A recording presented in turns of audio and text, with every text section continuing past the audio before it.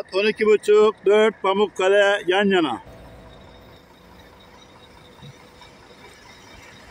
Kamil Koç.